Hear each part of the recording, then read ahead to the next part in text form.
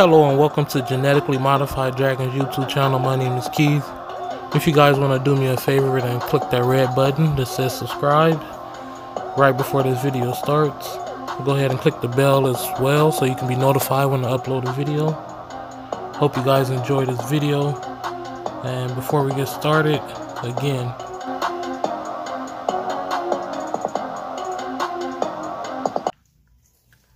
what's going on today guys? Um, today I'm going to be showing you guys a new pickup that I have.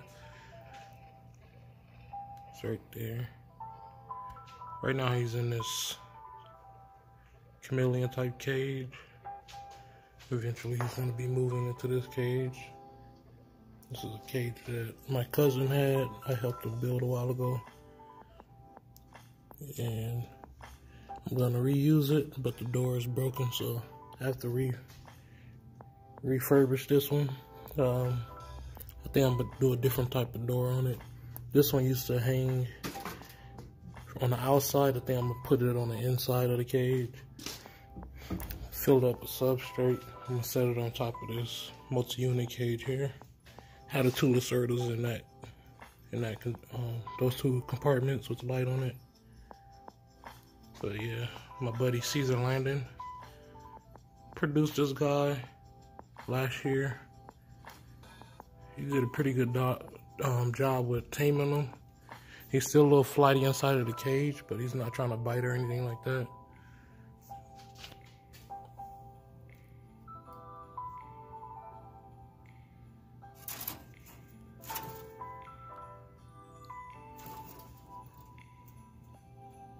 So he's pretty cool. And I'm just gonna keep on working with him and pick up where he left off. Doing a good job. So I'm just gonna let him chill for right now. But I just wanted to show you guys, this is a Palearis iguana, spiny tail.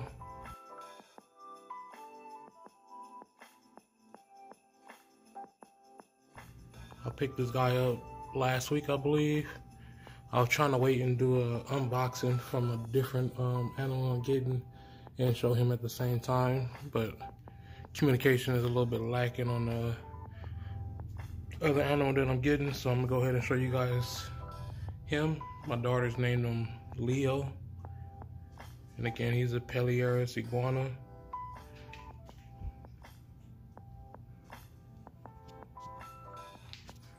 Pretty cool guy. I had some of these before. If you guys have been here um, on the channel for a while, you may have seen them. Was keeping them in the outside enclosure.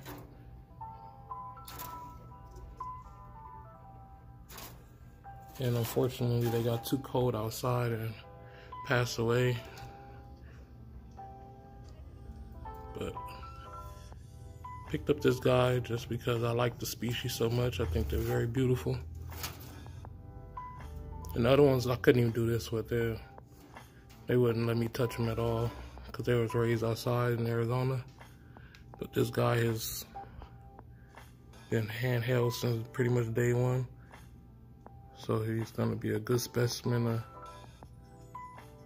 let me take him outside so you can get a better look at it. his true colors and stuff. Right now he's still pretty gray, but they do pick up some pretty blues. Okay, made it outside so you guys can get a better look at this guy. Right now, I think he's going into a shed. It's a little shed popping right there.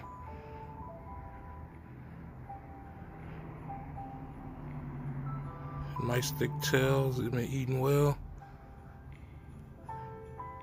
And we, the reason we think it's a male because his crests are pretty much raised compared to what a females will be at this size. You see a little bit of blue coming in right there. And usually right there behind the front arms is where more um, blue will usually come in. But again, yeah, this is a Palearis spiny tail iguana. It's my new pickup. I wanted to do a two for one video, two new specimens in one video, but unfortunately, the other one that I'm supposed to be purchasing the guy hasn't um, sent me the pictures yet, so I don't know if it's gonna happen or not. But if it does, I'll do a video unboxing on that. But I just want to show you guys this little guy. Right now he's eating greens. Um, super worms, crickets, dubia. I've been trying to get him on Mazuri um, tortoise diet, but haven't had him take it here yet.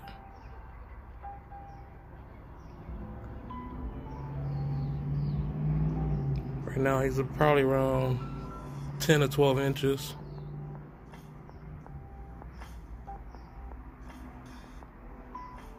Baby Godzilla. And I've been handling them every day. Like I said, I want to keep them calm. Because once they get about, I think they get about two feet. So once they get two feet, I would like to be able to take him out and let people handle him and stuff like that without him being too scared. So I'm going to um, handle him as much as possible and take him into different environments so that he's used to pretty much everything. So I'm gonna put him back in a cage.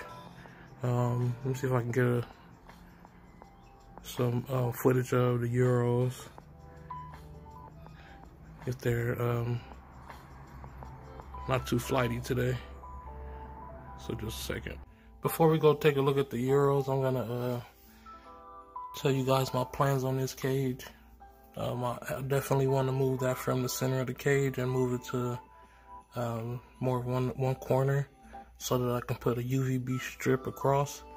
I'm gonna use a T5 high input. I believe I can get a 24 inch one at a diagonal up here, uh, so that he can have um, a spot to spot for heat and then a spot for uh, UVB pretty much all over the cage. So I'm probably gonna build a shelf right here and put a rock on it, and so it'll be right, so it'll be right underneath the uh, the heat lamp, and then I'm gonna put maybe four inches of substrate on the bottom of here, and I probably build some type of water feature. I bought some um, little pumps last year for because I planned on putting the bearded dragons outside when I had them. And I was going to put a water feature in each of the enclosures, but it never went through. So I still had those pumps. So I probably built like a waterfall inside of here. Because these iguanas don't really eat still water. The water, they like the water when it's moving. So I probably built some type of um, fountain inside of here. And make it look more naturalistic in here. So that should be real nice. So if you're not tuned in and subscribed, make sure you subscribe and tune in so you can see that process. So now let's go over and look at the Uromastyx. All right, this is one of the little, the girls I got from the um, Anaheim show last year. She was very thin when I got her. She's making leaps and bounds as far as filling in and getting adapted to the captivity. I was worried about her for a little while, but I'm pretty sure she's gonna be okay. She probably breed for me in maybe a year or two. Speaking of breeding, um, if you watch my last videos, this is the mom right here of the eggs. She's still over here gardening this. It's been almost a week now, I believe. And she's still gardening this. And dad is in here hiding somewhere. I don't see him right now. He's hiding. Yeah, she's still defending. I had one female down here. I moved her up with a male right here. They're both in here. Missing a little bit of breeding behavior, but no locks yet. At least locks that I have seen. Females underneath there.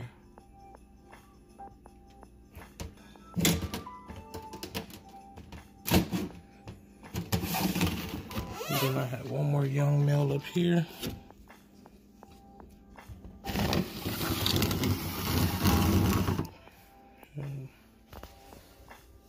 I think he's going to be the nicest out of all three males that I have.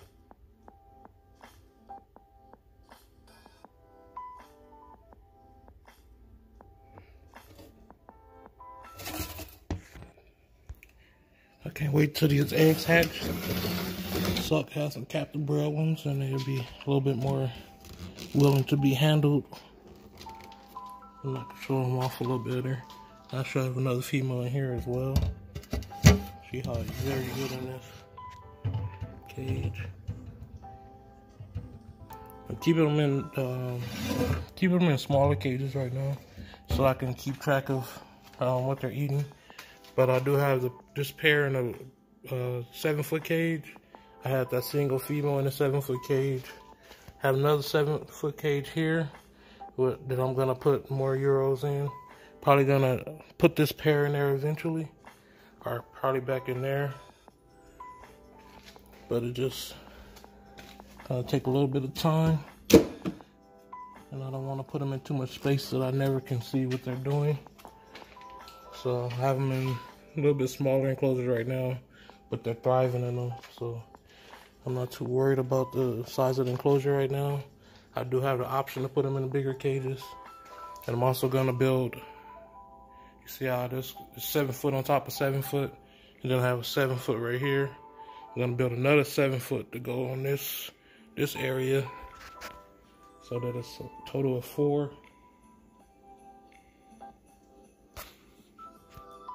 four seven footers, and I'll eventually want to have four, four um, ocellated, ocellated pair in these cages. So four different groups of breeding pairs.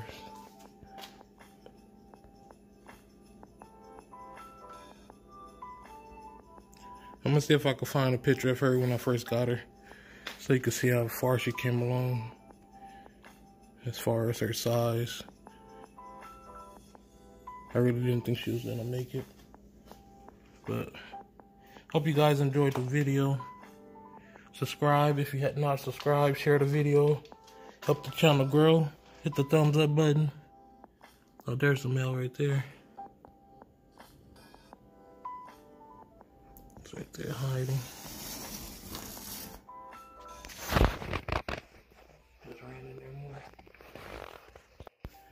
I would like to also um, give a shout out to Edison Alpas for sharing a YouTube channel on his Facebook page. I did see a couple more subscribers come to the channel after he posted this, so I'd like to thank him. Thanks again, Edison. I enjoyed talking to you and answering your questions. So again, thank you.